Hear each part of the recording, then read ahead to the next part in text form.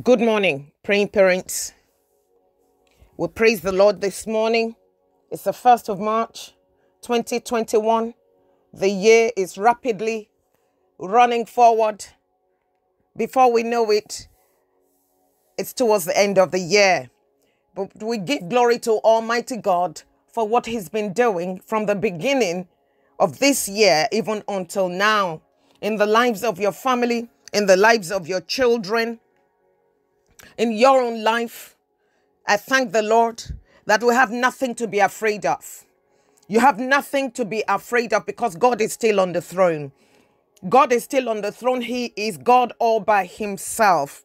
And he is not moved by what the devil is doing. He is not afraid of what the devil is doing. He is not afraid. He is not panicking. He is not anxious of what the devil may do. God knows the devil is already weak. He is already underneath your feet. He is already defeated. He is a defeated foe. I want you to know that with a confidence that the enemy is a defeated foe, a liar and the father of all lies, a deceiver, a deceiver, fake. He makes everything so big, exaggerator, a liar. Don't trust, don't believe him. He's very subtle in his ways. He's not going to come to you with two horns and, uh, and red eyes. He's a snake. He sneaks in. I pray this morning that the enemy will not sneak into your home, that your children will not be deceived by the enemy in the name of Jesus Christ that none of us will be deceived by the enemy in the name of Jesus Christ. One of his last weapons, one of his last arsenals is deception, making the truth to be a lie and a lie like the truth. And the Bible even says that if it were possible, even the very elect will be deceived. Children of God, be very aware of the deception of this liar. This liar sits in offices. This liar sits amongst us daily.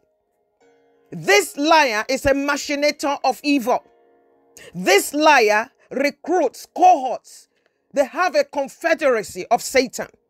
Today we'll pull the confederacy of Satan down. And I decree over you, your children, your family, that no weapon fashioned against you shall prosper. No weapon fashioned against you or your children shall prosper. No weapon fashioned against you in your job shall prosper. All the liars, the Lord will disgrace them and put them to shame in the mighty name of our Lord Jesus Christ. These are the very last of the last days. I know that Jesus is just right around the corner. Are you ready? Are you prepared? Or are we just living our lives as if nothing is going to happen? They've said it for 2,000 years now. Nothing is just going to happen. Please let's get ourselves ready. Let's get our children ready. Prepare them for eternity. Speak to them about the end times. Explain what is going on to them. They don't understand. They just think it's coronavirus. But these are the signs of the end. Explain it to them. Let them understand what the Bible said in the last days that men shall become lovers of themselves. And this is what we are seeing. They are greedy. They have become lovers of themselves. Father, we give you praise this morning. And so tell them not to be in despair. We must not despair. Hallelujah. We must be like Solomon, that God blessed. God blessed Solomon because of his father David, because of the integrity of his father David's heart. David was a faithful man to God. He was he, he wasn't perfect, but he was a faithful man. He had a heart of integrity. Hallelujah. The Bible spoke to, to Solomon. God spoke to Solomon in First Kings chapter 9. The Lord appeared to him a second time after he had appeared to him at Gibeon. And the Lord said to Solomon, I've heard your prayer and your supplication that you've made before me. I have consecrated this house. You see, Solomon built a house for the Lord. So the Lord consecrated the house that Solomon built for him in the Lord's name. And the Lord says that He will be there forever, and His eyes and His heart will be there perpetually. So God accepted Solomon's gift, Solomon's offering, because Solomon built a house for the Lord. I pray that your children will build a house for the Lord in the name of Jesus Christ. They will build a temple for the Lord in Jesus' mighty name. And the Lord says that His name and His presence will be there forever. Whatever you do, whatever your children do, I pray that the name of the Lord and His presence will be there forever. And the Lord says that my eyes and my heart shall be there perpetually. And then he gave a condition to Solomon, which we all have. We all have conditions. We must serve the Lord our God with all our heart. Your children will serve the Lord their God with all their heart. And the Lord spoke to Solomon and says, As for you, if you walk, if you live your life before me, as David your father walked in integrity of heart and in uprightness, acting in accordance with everything that I have commanded you. And if you keep my statutes and my precepts, then I will establish the throne of your kingdom over Israel forever. Hallelujah. If you are in ministry, you've got to walk with integrity of heart and in uprightness. You can't do anything just the way you like. You can't just, we can't just, we cannot just do that. I pray today in Jesus' name, as parents, who are in charge and stewards of our children, that we will walk with integrity of heart and uprightness in Jesus' mighty name. Because those children are the temple of the Holy Spirit. They are the temple of the Holy Spirit. And the Lord said to David, if he will stand by the word of God, keeping the statutes and the precepts and the commandments, God said he will establish the throne of the kingdom forever. Those ministries will last forever if we walk in uprightness of heart in Jesus' name. But God gave him another condition that if you or your sons turn away from following me, I pray today that your children will not turn away from following the Lord in the mighty name of Jesus Christ. God said, if Solomon does not keep the commandments and the statutes that was set before him, if he goes to serve other gods and worship them, God says, I will cut off Israel from the land which I have given them, and I will cast out of my sight the house which I have consecrated for my name and my presence. God can reject our gifts if we think we're doing him a favor. And just because Solomon has, has given God something, has done something for the Lord, does not guarantee him eternity. It does not guarantee him eternity. God says, I will cut you off if you do not keep my commandments. I pray today. God is saying, keep my commandments and my statutes, which I have set before you. Do not go and serve other gods and worship them. Today we worship human beings. We worship materialism. We worship friends in high places. We worship so many things that we're not aware that they're idols in our lives. We are addicted to things. And God is saying we must not serve other gods and worship them. It's not until we go into the coven of a witch that we begin to worship Satan. No. It's when we turn our eyes away from the commandments of God and His statutes. I pray today that none of us will be cut off. None of your children will be cut off from the land which the Lord has given unto us. We will not be cast out of God's sight because God says that I will I will cut you off from Israel from the land which I have given you and then I will cast out of my sight I will cast you out of my sight the house which I have consecrated for my name and my presence and then he says that Israel will become a proverb, a saying, a byword, an object of ridicule among all the peoples. That's why some people are ridiculed because they've fallen away from walking under the commandments of God. And the Lord says that the house that Solomon had built for him will become a heap of ruins. Everyone who passes by will be appalled and snare and say, Why has the Lord done such a thing to this land and to this house? May our children not bring disrepute to the name of the Lord. May we not bring the name of the Lord to disrepute, to disrespect, to people sneering, to people talking about Christians like, like we don't have a God because of our lifestyles, because of our ways, because we worship idols, because we, we like friends in high places, because we worship people and things because our eyes have been turned away from the God of eternity and we are worshiping other gods without realizing it. This morning, I am asking you, praying parents, Will we repent? Including myself. I'm not exempt from anything God is saying. And I want us to say this morning, Lord, I repent. If I've been worshiping some kind of idol or the other, do not cast your name away from me. Do not take away your presence from me and my family. Do not cast us out, do not cast us out of your sight. In the name of Jesus. Mase kalaba. Rebeke seke talabaka yakalama. Rebeka maka maka raima kaseke talababa. Kalima. Your children will not be cut off. Your household will not be cut off. You will not be cut off. You will not be cut off from this judgment that is coming upon the earth. You will not be cut off in Jesus' name. There is a judgment that is coming upon the face of this earth. God is not asleep. God is not slumbering. God is watching. He can see. The world has turned away from following the Lord. The Lord has turned away from the commandments. The world has turned away. Sorry, the world has turned away from God's commandments and his statutes.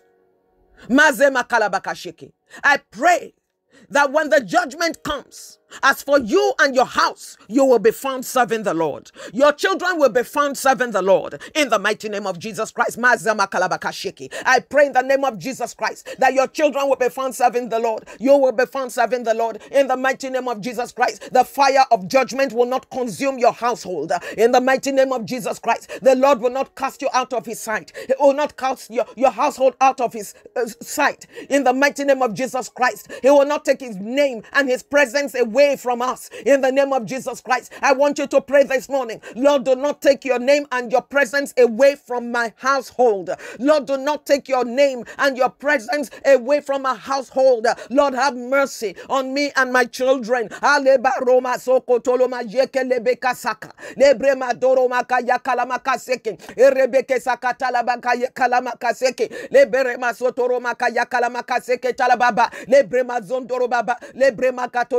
Sheketelebeke telebeke sakatalaba karabaka seke.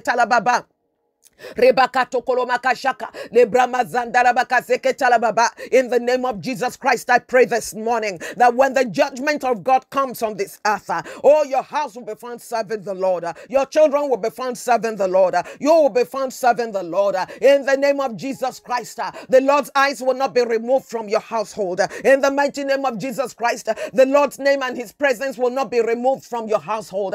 In the mighty name of Jesus Christ, your family will not be objects of ridicule. In the mighty name of Jesus Christ, your children will not become objects of ridicule among all the peoples. In the mighty name of Jesus Christ, uh, Shakatalababa, your household will not become a heap of ruins. Uh, Shakalamakase people will not snare at your household. Uh, Kalima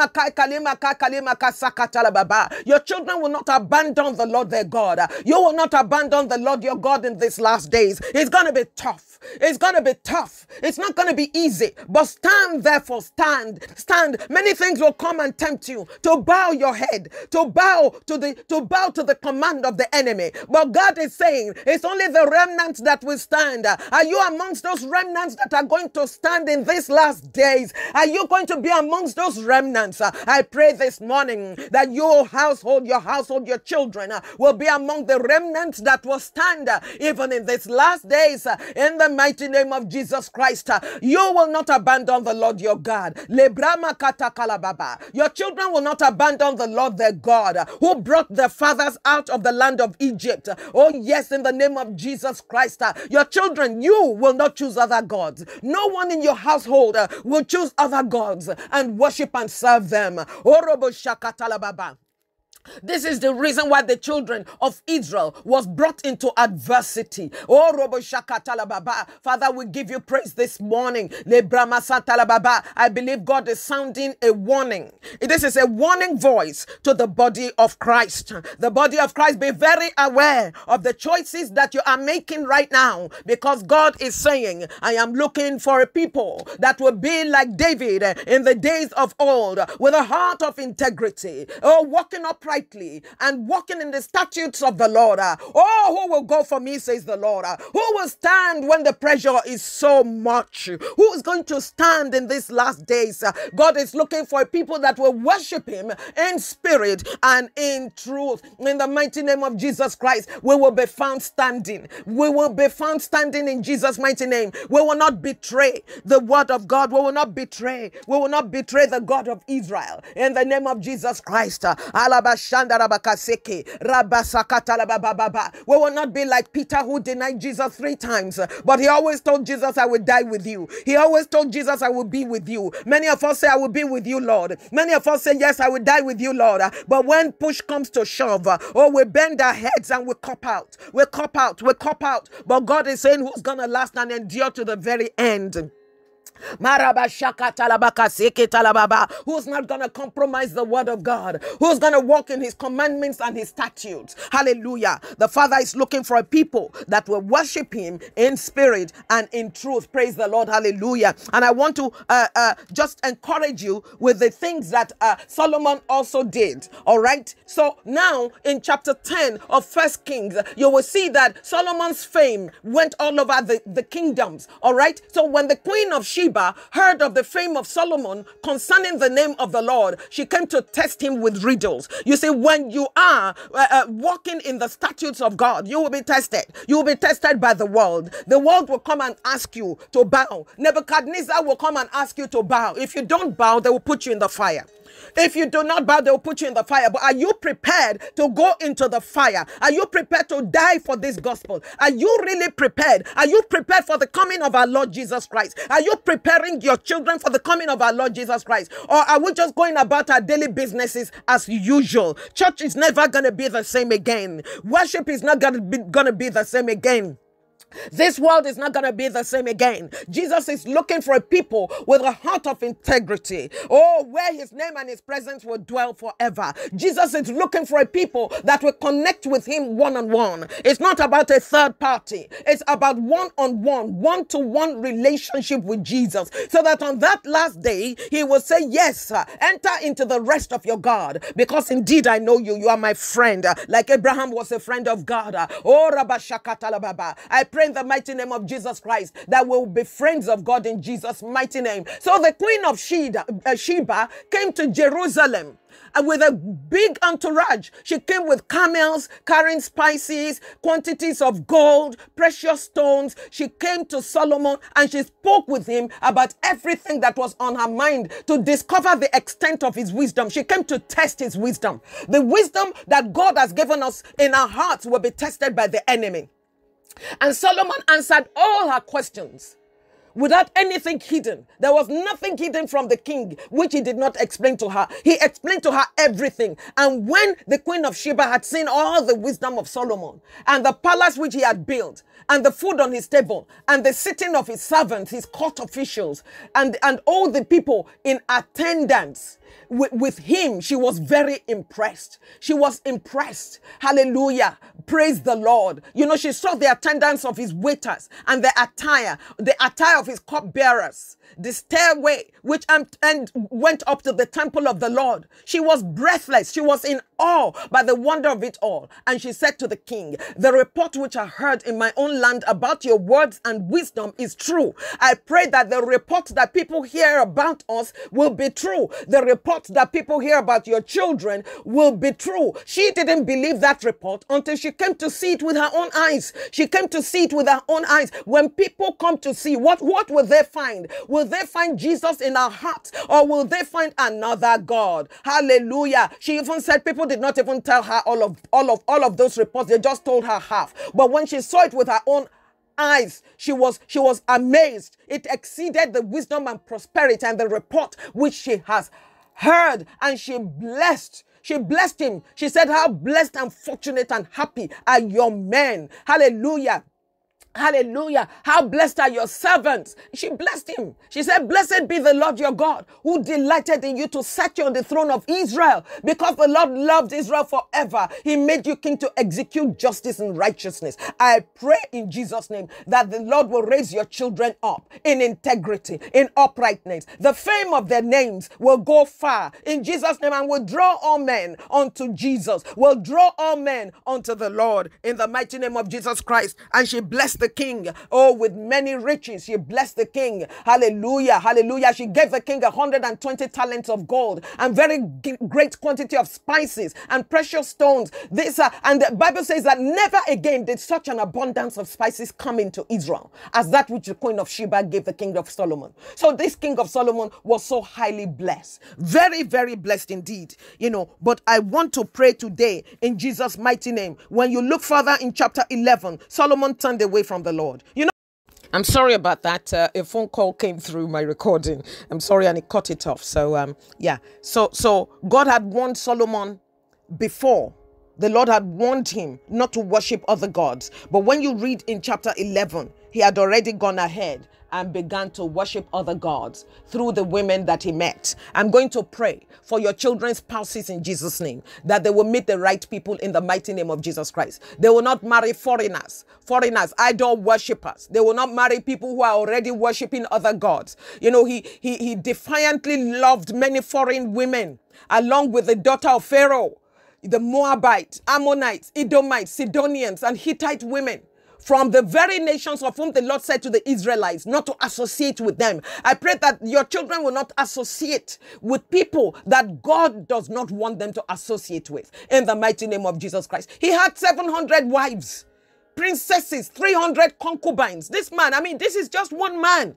I pray in the mighty name of Jesus that your children will not fall into the pit that Solomon fell into. In Jesus' mighty name, in, the Bible says Solomon did evil, evil things in the sight of the Lord, and he did not follow the Lord fully. I pray that your children will follow the Lord fully, as his father David had done, in the mighty name of Jesus Christ. They will follow the Lord fully as his as, the father Solomon's father David had done, in the mighty name of Jesus Christ. So the Lord became angry with Solomon because his heart was turned away from the Lord. I pray that your children's hearts will not be turned away from the Lord, the God of Israel, in the mighty name of Jesus Christ. God appeared to him twice. So this is Solomon. It's not like he didn't know the Lord. It's not like he hadn't seen the Lord before. It's not like he had no experience with God. Some of us have walked with God. We talk with God. We get revelations. We prophesy. We do things, you know, but yet somehow, some way, falling into some kind of pit. I pray in Jesus' name that the Lord will deliver all of us and have mercy on us, that we will not fall into the same pit that Solomon fell into. It may not be 700 wives and concubines or 300 concubines concubines. It may be other things that are distracting our hearts from the very presence of God. And God is not pleased. We pray that the Lord will be pleased with us and not be angry like he was angry with Solomon because his heart was turned away from the Lord. I pray that our children will not turn away from the Lord. Our hearts as parents will not be turned away from the Lord. Your household, their hearts will not be turned away from the Lord, uh, the Lord God of Israel. In the mighty name of Jesus Christ. Father, we just thank you right now Thank you right now in the mighty name of Jesus Christ. We pray that we will not fall into the pit that the enemy has dug in the name of Jesus Christ.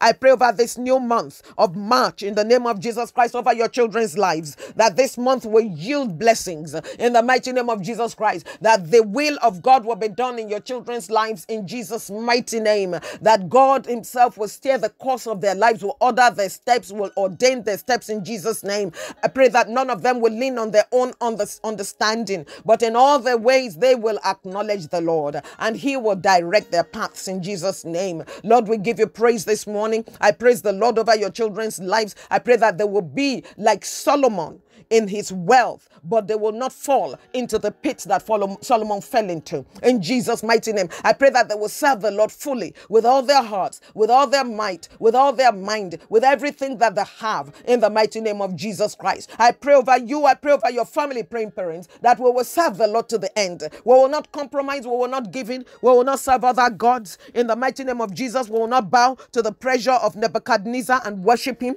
In the mighty name of Jesus Christ, we will not worship other gods gods in Jesus' mighty name. Mazema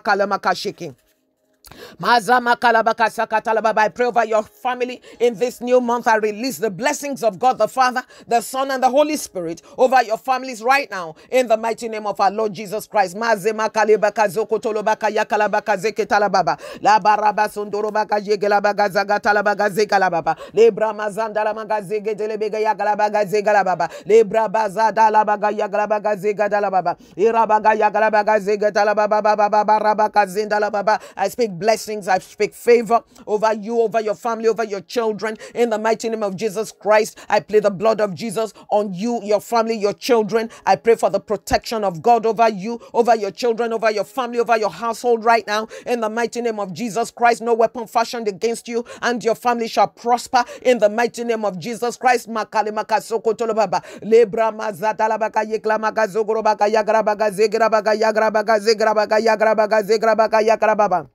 mazata baka yekla magazogoro baka yagra baga zegra baga yagra baga zegra baga yagra baga zegra baga yagra baba. rebazandarabaga zegelebege zege lebramazondorobaga zagadalababa lebramazandarabaga zege talababa in this new month in the name of Jesus Christ uh, you will bear fruit. Your children will bear fruit in the mighty name of Jesus Christ. They will walk in the statutes and in the law of the Lord in Jesus name. Maze maze maze maze maze. Lebramazandaramaga zege talababa lebramazondorobaga yaglabaga zege talababa I plead the blood of Jesus on your family right now. And I plead the blood of Jesus against every plan of the enemy, every counterattack of the enemy, every lie of the enemy, every machination of the enemy. We come against it in the name of Jesus Christ. We pull it down. Anything that is not planted of the Lord in your home, we uproot it right now in the mighty name of Jesus Christ. Father, we give you praise. We give you glory. We magnify your holy name. You are worthy to be praised. There is no God like you. There is none that will be compared to you. You are the mighty one of Israel. You are Jehovah Shammah, the one who is forever present in our midst.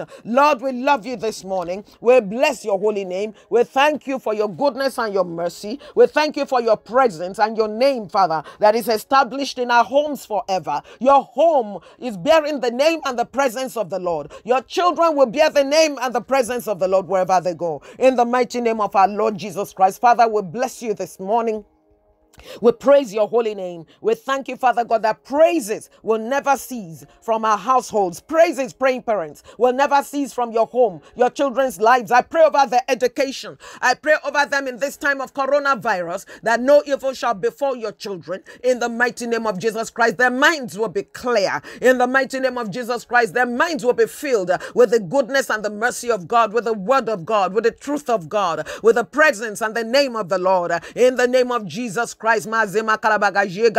We bind depression, oppression, loneliness in the name of Jesus Christ. I pray that the Lord will fill every void in your family in the name of Jesus Christ. I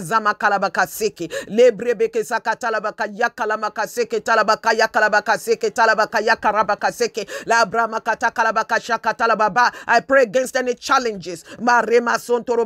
That you will run through every troop and you will scale every wall. In the mighty name of Jesus Christ. The Lord will impart his wisdom upon you and your children. In the mighty name of Jesus Christ, every decision you make will be from the Lord God of Israel. Every decision you make concerning your children will be from the Lord God of Israel. The wisdom of God will guide and lead you. In the mighty name of Jesus, the wisdom of God will guide your children and lead them in their universities, in their education, in their jobs, in their marriages, wherever your children are. The wisdom and the knowledge the understanding of God, the name of God, the presence of God will never depart from them. In the mighty name of Jesus Christ. Oh, Father, we give you praise for your angels on assignment over the children's lives. In the mighty name of Jesus Christ. Praying parents, be rest assured that as you continue to pray in humility of heart, in integrity of heart, and in uprightness before God, God answers prayers. God answers all our prayers. And we thank Him. We give Him praise this morning. I thank Him for your wonderful children, your beautiful children, your amazing children. You're more than a conqueror children. You're overcomer children. You're victorious children. your children in the hands of God. Your children that are weapons of warfare in the hands of God. Your instruments of worship before God. These are your children. These beautiful souls that God has given you. Oh, their leaf will not wither. Their leaf will not wither in the mighty name of Jesus Christ. They are for signs and they are for wonders. Father, we give you praise in the mighty name of Jesus Christ for these children that you have given unto our praying parents. That yes, indeed, they will be for signs and they will do wonders for you for the glory of your holy name in the mighty name of our Lord Jesus Christ. They will carry your name to the nations of this earth, our Father and our God, in the mighty name of Jesus Christ. They will not bring your name to disrepute, to shame, in the mighty name of Jesus Christ. Father, we thank you that they are a gift to every family where they've come from, in the mighty name of Jesus Christ. Father, we thank you.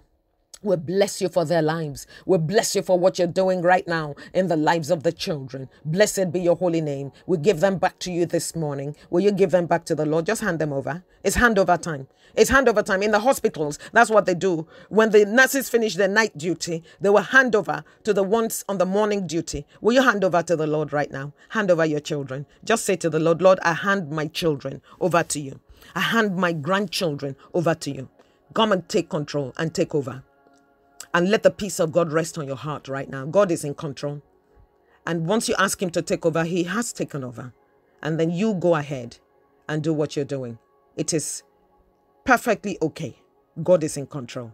Praise the Lord. Hallelujah. God bless you, praying parents. In Jesus' mighty name. Amen. Amen. Praying parents, the song that God has given me for you this morning is titled You Have Turned My Mourning into dancing. This is how we overcome by Hillsong.